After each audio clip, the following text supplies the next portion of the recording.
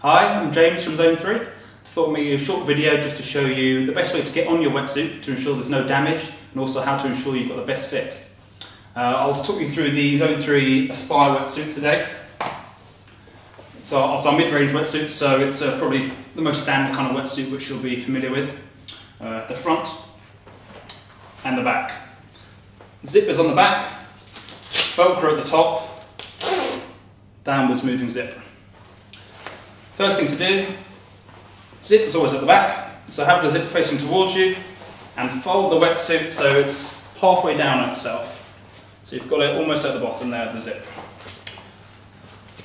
Simply throw your leg into it, point your toes so it, it, kind of your foot glides straight through the wetsuit rather than get stuck in between. Onto the second leg, so using that technique, it's almost instantly come into the right position, and that's exactly what you want.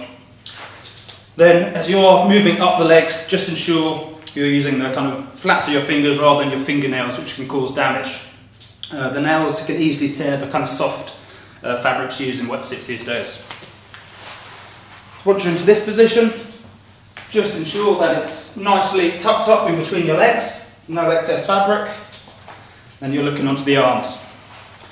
I just go straight from this position, arm in, again, pull your hand through, ensure it's nicely high on the top of the shoulder, followed by the next arm,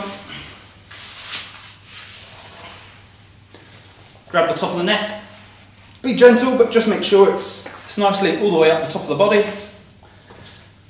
ensure the neck flap isn't tucked in, and then simply grab, that's it, flap, the upwards direction. It's then fastened with the Velcro. And that's really the best way to get your wetsuit on, minimising any damage and ensuring that it's always tucked in nicely, well fitted in the right areas.